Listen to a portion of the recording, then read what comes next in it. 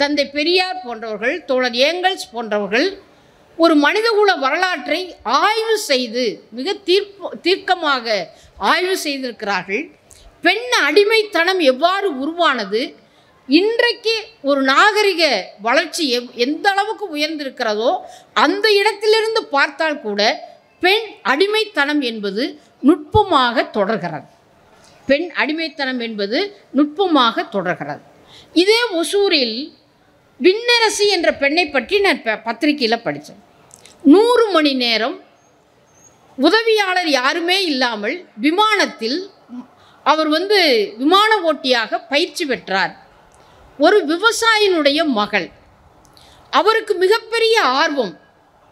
பல்வேறு வகையிலே அந்த படிப்பை அந்த கல்வியை தொடர்வதற்கும் ஆளே இல்லாத அந்த விமானத்தை இரவும் பகலுமாக நூறு மணி நேரம் ஓட்டி பயிற்சி எடுப்பதற்கான அந்த மன உறுதி எங்கிருந்து கிடைத்தது என்றால் அது தமிழ் மண்ணிலிருந்து அவருக்கு கிடைத்தது என்ற வரலாறையும் நாம் பார்க்க வேண்டும். அது நம்முடைய பெருமை.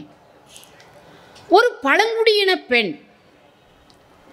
படுகர் இனத்தை சார்ந்தவர் இன்றைக்கு கடற்படையில் ஒரு மிக முக்கியமான அதிகாரியாக இருக்கிறார் மீரா. கடற்படையில் பெண்கள் செல்லவே முடியாது.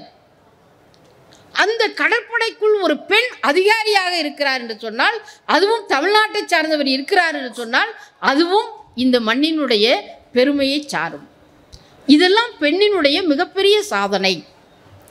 இந்த ஆண்டிலே தான் ஒரு பழங்குடி இனத்தை சார்ந்த ஒரு பெண் தன்னுடைய பிறந்து மூன்றே நாளான கைக்குழந்தையோடு நீதிபதிக்கான தேர்வு எழுதி அதிலே தேர்ச்சி பெற்று இன்றைக்கு அவர் ஒரு நீதிபதியாக ஆகியிருக்கிறார் என்று சொன்னால் அதுவும் தமிழ்நாட்டில் பெண்ணுக்கு கிடைத்திருக்கக்கூடிய ஒரு மிகப்பெரிய வரலாறு. இவ்வளவு பெருமைகள் இருக்கிறது என்பதை நாம் ஏற்றுக்கொள்கிறோம். ஆனால் அதே சமயத்திலே சிறுமிகள் எங்கே இருக்கிறது என்று நாம் பார்த்தால் இதெல்லாம் விரல் விட்டு சொல்லக்கூடிய முன் உதாரணங்கள். அவ்வளவுதான்.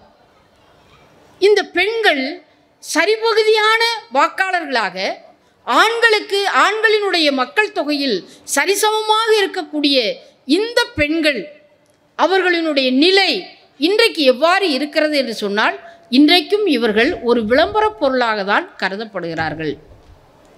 ஒரு நுகர்வு பொருளாக தான் கருதப்படுகிறார்கள். இன்றைக்கும் தடை செய்யப்பட்ட குழந்தை திருமணங்கள் தலைகாட்டாமல் இல்லை.